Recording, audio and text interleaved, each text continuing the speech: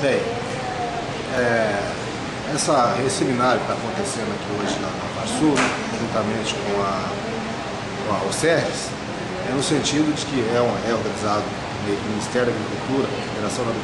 Nacional da Agricultura e mais a Organização das Cooperativas Brasileira, no sentido de identificar né, propostas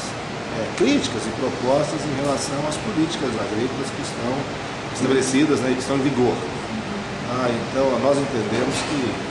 é, essas reuniões locais estão presentes lideranças rurais, produtores é, rurais, né, é, agentes financeiros,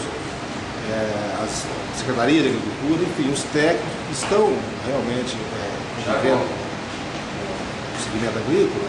Eu acho que esse contato direto é a oportunidade da gente né, é, ter um pouco mais de profundidade os anseios e as propostas que que podem surgir desses eventos. Então, é, essas,